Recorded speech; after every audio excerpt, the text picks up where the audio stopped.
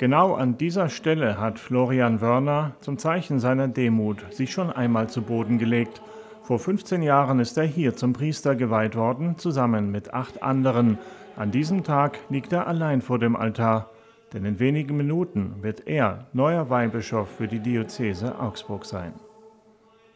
Rund 1700 Gläubige, unter ihnen auch viele Weggefährten aus der oberbayerischen Heimat Wörners, werden Zeuge wie Bischof Konrad Staser und nach ihm die anderen anwesenden Bischöfe durch die Handauflegung die Weihe vollziehen. Damit, so glauben die Katholiken, wird die Gabe des Heiligen Geistes verliehen, die schon die Apostel von Christus erhalten haben. Durch diese Handauflegung wird das Weihesakrament in seiner ganzen Fülle übertragen.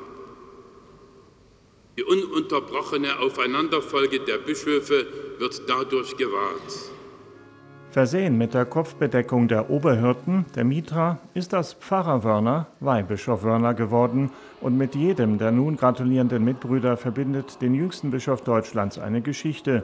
Weihbischof Josef Grünwald zum Beispiel, dem er im Amt nachfolgt, Altbischof Viktor Josef Dammertz, der ihn vor 15 Jahren zum Priester weihte, auch Altbischof Walter Mixer war da. Er hatte 2006 Florian Wörner zum Jugendseelsorger der Diözese gemacht.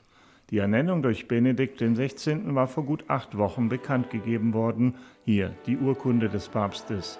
Seitdem war alles auf diesen 28. Juli ausgerichtet. Ich sage Danke meiner Familie, meiner lieben Mutter, meinen beiden Geschwistern und ihren Familien, die möglicherweise die letzten Tage und Wochen auch ein wenig nervös und aufgeregt waren, so wie ich. Aber jetzt haben wir es geschafft. Der neue Weihbischof soll sich im Bistum vor allem um die Jugend und die Neuevangelisierung kümmern. An Arbeit wird es ihm nicht mangeln.